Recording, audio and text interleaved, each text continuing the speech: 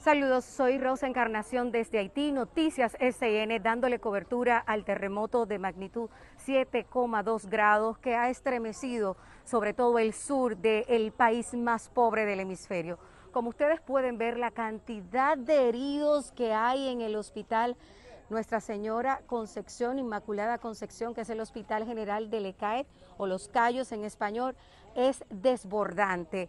En el patio, en el jardín, en el parqueo, la cantidad aún no ha sido cuantificada de personas afectadas, pero lo que sí es cierto es que este sismo ha dejado hecho escombro gran parte de esta, que es la tercera ciudad más importante de Haití. Aquí pueden ver a los enfermos que escasamente están recibiendo ayuda porque el personal médico no da abasto. De hecho, nos hemos encontrado aquí con un dominico haitiano que tiene un familiar afectado. ¿Su nombre, por favor? Miguel Feliz. Miguel, ¿cuál es la situación de su hermano? la, hermana, la mano también desbaratada entero. Pero yo puedo mirar como la gente, como, casi no, la gente no interesa a uno. Pero yo quiero un favor, porque mira, ahora está, está botando la sangre. Yo quiero el favor pero mira cómo estaba. ¿Tú qué le ves? Míralo ahí. ¿Quieres saber hablar también? Si tú vienes aquí para ayudar a nosotros, pero como yo sé de allá, y tú vienes aquí para ayudarme, ponte la mano.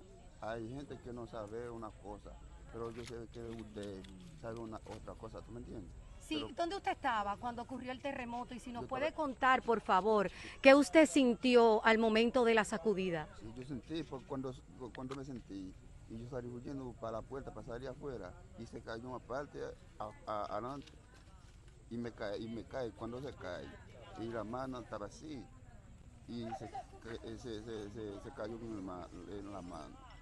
Gracias. Además de su hermano, ¿hay otro familiar que haya resultado afectado? Y si nos puede contar en qué condición también quedó la vivienda. Sí, pero imagínate, porque yo quiero llevarlo para allá, para Santo Domingo ahora.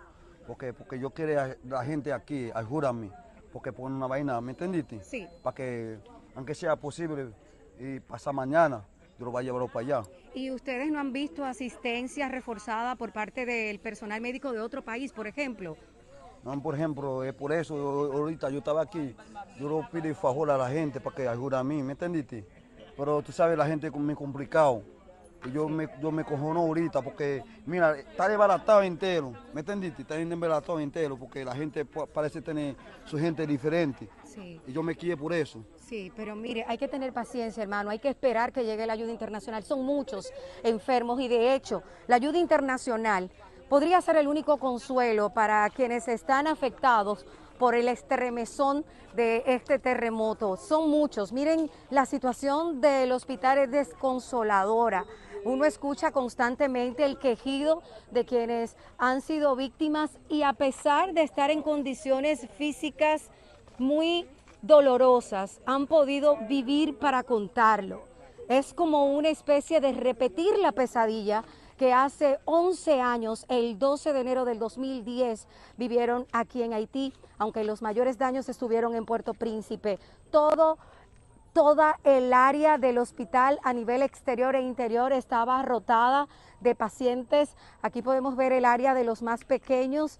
Eh, está al lado, las personas tratan de asistirse eh, unos con otros, los familiares. Pudiéramos pasar para este lado, que está el área de los más pequeños, donde el personal médico está haciendo el levantamiento y han tenido que improvisar carpas en el exterior del hospital, aunque en el interior también hay pacientes los más pequeñitos, ancianos. La verdad es que el dolor no discriminó, el terremoto no discriminó al momento de embestir. Son muchas las víctimas, todavía las autoridades no han podido cuantificarlas en su totalidad. Y yo les contaba que constantemente aquí se escucha al unísono el dolor de quienes resultaron lesionados.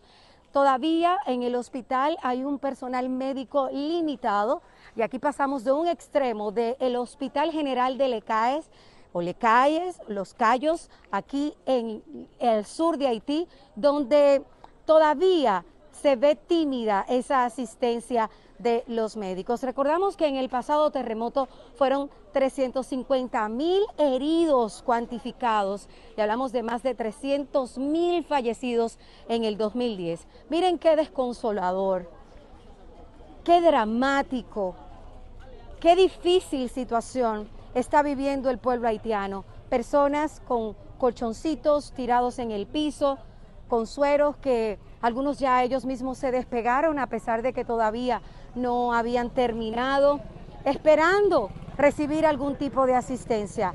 Los médicos nos dicen que desde esta mañana no han parado, que están agotados y que obviamente la asistencia es pírrica debido al nivel de personas heridas que han llegado aquí. Nos contaban heridas en el cráneo, lesiones en las manos, en los brazos, en las extremidades inferiores también. Y de hecho podemos ver aquí el resto que hay de la cantidad de yesos que han podido poner en este hospital. Y entramos para que vieran que también en el interior cualquier rincón es propicio para la persona recibir asistencia. Aquí vemos un señor mayor que está tirado, sufrió una lesión en su mano derecha y hay muchas precariedades evidentes y el personal médico nos contaba que estaba más copado el hospital hace unas horas y que vinieron autoridades de Puerto Príncipe, que queda unas tres horas de los callos, a buscar personal. También vimos más temprano cómo en avionetas se llevaban personas lesionadas. Es evidente el daño que ha causado este terremoto, este sismo en un país que parece vivir una pesadilla.